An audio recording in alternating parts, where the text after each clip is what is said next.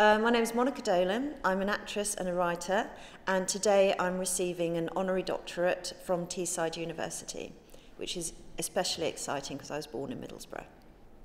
It's difficult to give advice to students, as I said, because the world's so different, but just my perception of how different the world is, what I would say to them is don't brand yourselves. The world is going to brand you. The world wants to brand you because it wants to know what to sell you.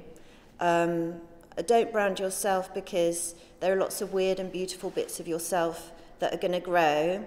So if you brand yourself, it won't necessarily make allowances for those. So just wait and see what you become.